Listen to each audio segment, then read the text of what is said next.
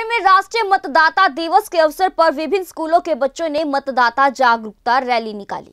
Rally को SDM Subhash Singh ने हरी झंडी दिखाकर रवाना किया। नगर में मतदाताओं को जागरूक करने के लिए रवाना किया। रैली में बच्चे हाथों में तख्तियाँ लेकर शहर भर में घूमे।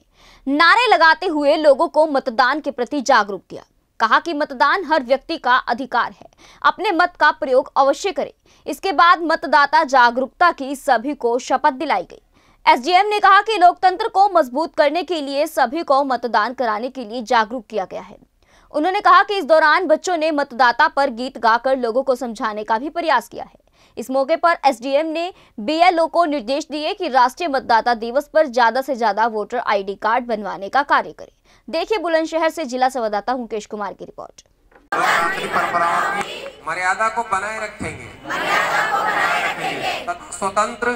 तथा स्वतंत्र स्वतंत्र निष्पक्ष निष्पक्ष एवं शांतिपूर्ण एवं शांतिपूर्ण निर्वाचन की गरिमा को अक्षुण रखते हुए निर्भीक होकर निर्भीक होकर धर्म वर्ग जाति धर्म वर्ग जाति समुदाय भाषा समुदाय भाषा अथवा अन्य किसी भी अथवा अन्य किसी भी प्रलोभन से प्रभावित हुए बिना प्रलोभन से प्रभावित हुए बिना जय हिंद।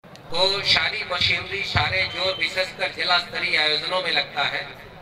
हमारे तहसील में अब की स्थानीय जनता, बच्चों के सहयोग से जो कार्यक्रम हुआ, वैसा मैंने अब तक कहीं तहसील में नहीं देखा था। इसके लिए बहुत बहुत आप लोग बधाई के पात्र हैं। और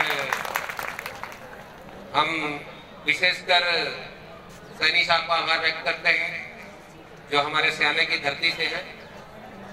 राष्ट्रीय अंतर्राष्ट्रीय स्तर पर यदि अपनी छटा बिखेर रहे हैं तो अपनी जन्मभूमि अपनी कर्मभूमि, अपने लोगों को नहीं भूले हैं। और हमें पता चला, विगत वर्ष भी आए थे। हम आशा करता है कि आप जहाँ भी जाएँगे, आप 25 जनवरी को ज़रूर अपने लोगों के बीच आएँगे। आपको बहुत बहुत धन्यवाद। JBD Banquets lie hai incredible marriage palace Rajgharana and the finest banquet hall Jyoti Garden.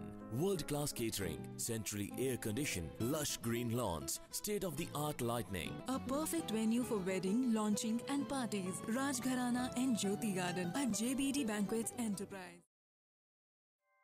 ऐसे ही लेटेस्ट खबरें पाने के लिए बेल आइकन को क्लिक कर हमारे चैनल को लाइक शेयर एंड सब्सक्राइब करें धन्यवाद